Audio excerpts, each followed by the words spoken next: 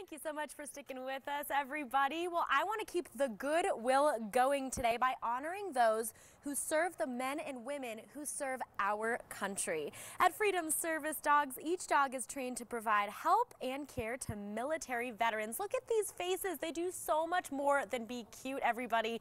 They help out those who have served our country and who really need them most. Chipper is here to tell us more. You know, they say the proof is in the pudding. Well, he's curlier than pudding. but that's the proof.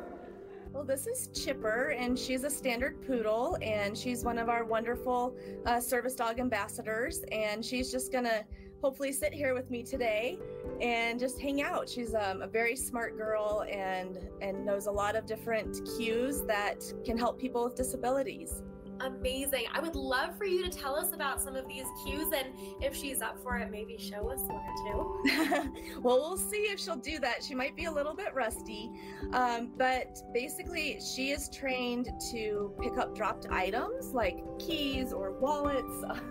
Right now, she's trying to pick up this ball because she also just so happens to love to play fetch.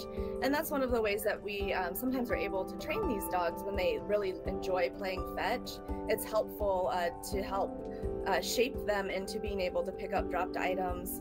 Um, she can turn lights off and on, she can tug open doors or push them shut.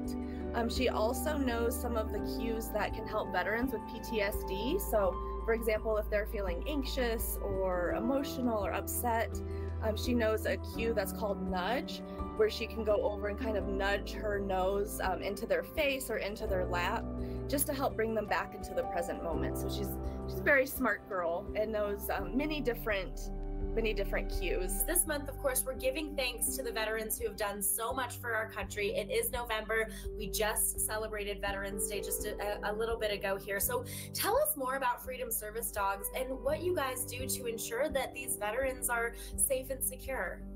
Sure, absolutely. So, Freedom Service Dogs is a Denver based nonprofit. We do serve people all over the country, but we're located right here in Denver. And our mission is to transform lives by partnering people with custom trained assistance dogs.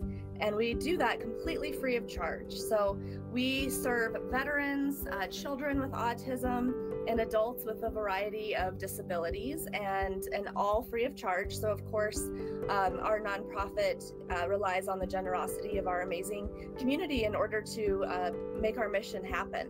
Yes, amazing. Let's talk too about why this means so much to the veterans who needs these who need these dogs most. I mean, have you heard a lot from the people that have come in and, and been able to get dogs from you guys?